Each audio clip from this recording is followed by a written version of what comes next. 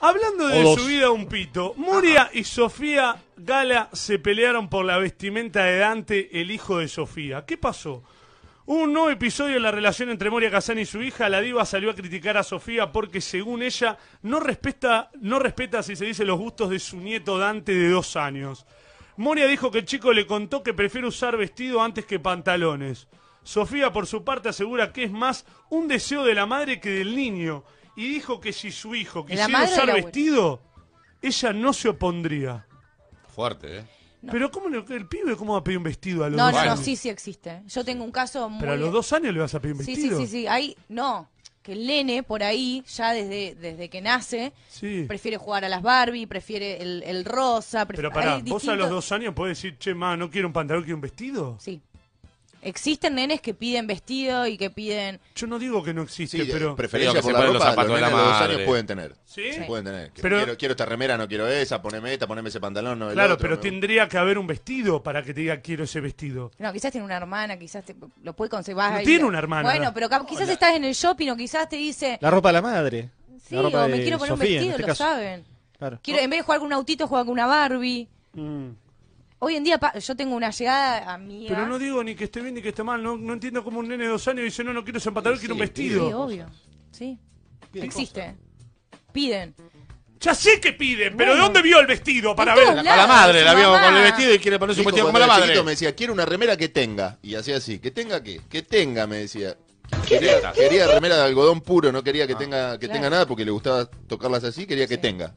Si no le ponía Bueno. una remera que tenía, se pudría todo. Según Sofía, Moria lo incentiva. Yo pregunto, ¿cómo se toma todo esto? Voy a saludar a Silvia Aguirre, que es sexóloga, especialista en sexualidad y que está del otro lado. Porque seguramente debemos haber dicho un montón de cosas que son boludeces en todo este relato, que no son acordes a lo que seguramente sucede. Silvia, ¿cómo andás? Flavio te saluda. Buenas tardes, Flavio, ¿cómo están ustedes? Bien, Silvia, ¿puede un nene de dos años decir no, no quiero un pantalón, quiero un vestido? Sí, sí, por ¿Y cómo lo pide? ¿Y qué- pero que no Así. entiendo eso. Quiero, un panta- quiero una pollera. Eh, lo que pasa es que me parece que lo que tenemos que tener en cuenta primero Mm. es que los que tenemos am, una, una concepción cerrada somos nosotros, que somos los adultos que ya llevamos mucho tiempo dentro de la cultura. Eh, para los niños, para las niñas que todavía no tienen todo ese universo incorporado, toda esa serie de reglas, de pautas, de normativas restrictivas, pueden pedir eso, pueden pedir cualquier cosa. Es decir, Claro. Eh, Lo que pasa, Silvia, que es raro de manejar. Yo me No, lo imagino. toma como un juego el nene. Pero por eso, pero pará, pará, pará. No hablemos, como, hablamos de la vida de los demás y después cuando a vos, tu nene de dos años, te dice, no, no quiero el vestidito de, de mi hermana. No, pará, vos te tenés que poner los pantalones. Pero no le pones el vestido. pero eso- si- porque si el nene después te dice, quiero una grande de musarela. Pero lo que te no digo, hace una es el prejuicio tuyo. Es tu Lo que prejuicio, te les dijo hace Silvia, Es mal. el prejuicio tuyo. Es como- El El prejuicio, adulto. El prejuicio no. Si el nene te pide ponerme un vestido, vos no le pones un vestido para sacarlo a la calle a los dos años. A veces- Le pones el pantaloncito que vos le habías comprado. No le vas a comprar un vestido. Le pones el pantalón que ya tenés. Que lo vas a retraer, a retraer al. Pero al- ¿cómo un nene de dos años te va a manejar la vida? Pasa eso. No, no te maneja la vida. Pero Bueno, no. preguntémosle a Silvia. Pero no, es una cuestión de que me parece... No te- Primero que estamos hablando de una eh, familia que, que evidentemente eh, a lo largo de su vida ha mostrado facetas que eh, como mínimo son polémicas, Moria y, y Sofía. Yo pregunto, Silvia, de verdad, ¿qué posibilidad hay de que un nene de dos años diga yo quiero ponerme un vestido y no un pantalón? ¿Cómo lo transmite eso un nene de dos años? Y yo insisto en lo mismo, un niño de dos años todavía no tiene incorporados esos patrones que dicen los varones se visten de una manera, las mujeres se visten de otra. Y creo que en todo caso lo que tenemos que pensar es, eh, aunque fuese, aunque de tan chiquito tuviese una tendencia a vestirse con ropas del otro sexo, sí, tenemos que pensar nosotros y cuál sería el problema. No, no es ningún Claro. problema. El problema es que yo te compré un pantalón, te tenés que poner este pantalón. No, ¿por qué te tenés que poner? Si el ¿Por qué te compré un pantalón? Pero pueden discutir ustedes después, No, de no, como pareja. A ver, que hable Silvia, que es más interesante. Discuten ustedes encima. Ahora, Silvia, ¿qué, ¿qué pasa? Digo, ¿eso está directamente atado a la sexualidad del chico, es la pregunta? ¿O es un juego y nada más que eso? Y es el prurito del adulto. No, no, por supuesto que a esa edad no, no tiene todavía un, un revestimiento vinculado con eh, un rol sexual. Silvia, ¿a qué edad más o menos eh, se, se pueden llegar a dar cuenta de su sexualidad? Eh, bueno, depende de a qué nos estemos refiriendo, ¿no es cierto? Si nos estamos refiriendo a cuál es su orientación sexual o si nos estamos refiriendo a cuál es su identidad sexual. De todas maneras, esto va a variar con las personas, con los niños. En algunos casos va a ser antes, en otros va a ser después.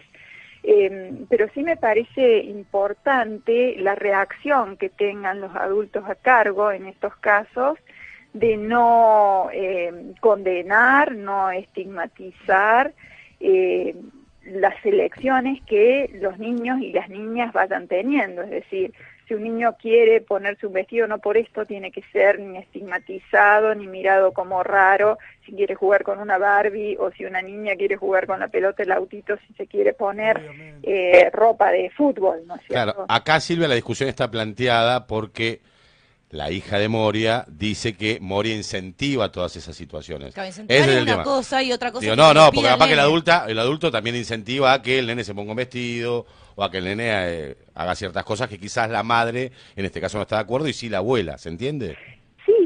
Por supuesto que eh, los adultos también van a tener influencia sobre eh, esas conductas que tengan los niños y también habría que pensar qué es lo que están queriendo transmitir los adultos Ah. o qué es lo que están queriendo conseguir con llegando. este con Mm. este tipo de acción, ¿no es cierto? Mm. Pero eh, ahí estaríamos hablando más del mundo de los adultos, insisto, que del de los niños. Por eso, las percepciones Mm. que tienen los adultos, los Claro. deseos de los adultos y esta cuestión inclusive binaria metida dentro de la cabeza, ¿no? Esto es de varones, esto es de mujeres. Totalmente. Obviamente que igualmente si uno tiene un nene y tiene un año, va y le compra ropa de nene al nene.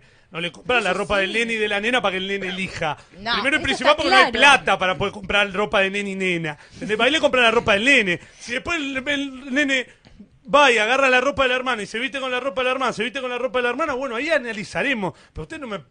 A eso Pero voy. eso, eso está Pero claro. Acá no hay hermana, acá hay una abuela que le pone la ropa de nena. Bueno, sí, ahí sí. No, está bien, pero no, no está tan claro, porque en este momento donde hay ciertos patrones que se intentan romper, así- hay ciertas limitaciones relativas a los roles que en muchos casos se intentan dejar atrás, hay todo un movimiento de personas que dicen no, vamos a comprar ropa unisex hasta que en algún momento él o ella elija con qué se va a querer vestir. ¿Y eso estaría bien o estaría mal? Que para mí, no sé. Tiene hermana igual, eh, tiene una hermana mayor. El- Ah, el- ¿sí? Sí, tiene Elena, Mm, es la hermanita pero, pero lo que tenemos que ver me parece que es nosotros, que nos moviliza tanto, que nos produce a nosotros que un niño se vista con un vestido, es decir, ¿qué creemos que va a pasar con esto, no?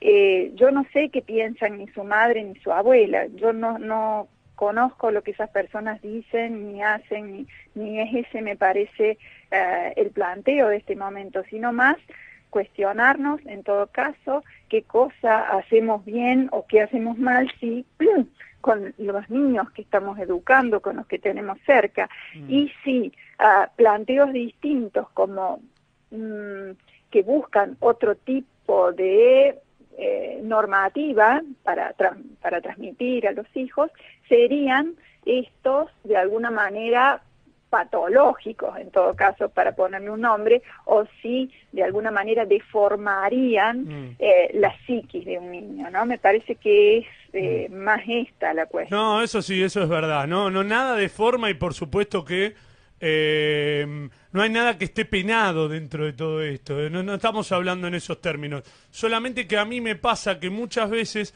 hablamos de, de estos temas como si todo el mundo pudiese comprarle un vestidito y una remera y un pantalón y que el nene elija, ¿no? Vos tenés un nene y vale comprar ropa de nene. si después el nene, cuando crece y empieza a demostrarte que evidentemente de verdad no quiere más ese jean, que quiere una pollera, barba, vale comprar la pollera. Nadie está hablando de eso. Pero a veces nos pensamos que la vida es de una manera que no es. El nene no elige a los dos años si se No, pone no, jean o vestido. Se pone lo que vos le podés comprar. Después vos tenés que tener la capacidad para darte cuenta que evidentemente ese nene te está pidiendo una pollera de verdad porque lo siente, porque tiene ganas. Pero no es esto del nene elige qué pilcha se pone. El nene se pone lo que vos podés comprarle La discusión también. igualmente está orientada a la sexualidad, no hacia la ropa. Cortó. Silvia. Se, Se fue a poner un pantalón. Bueno, se cortó con Silvia.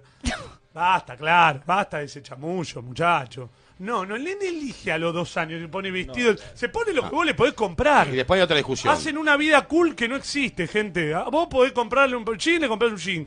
Obvio, ¿qué le va a hacer? A comprar un vestido y un jean para que elija el nene al año que se pone. Le comprás lo que podés. Yo y si es nene, le comprás ropa de nene. Yo creo que hay y una- si el nene después tiene orientaciones, orientaciones o no, o le gusta otra cosa y va creciendo, está todo bien. O asume una Pero no distinta, seamos claro. mentirosos.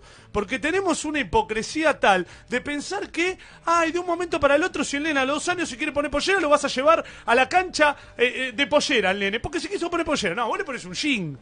Y está bien que le pongas un jean, no tiene nada de malo, porque es nene.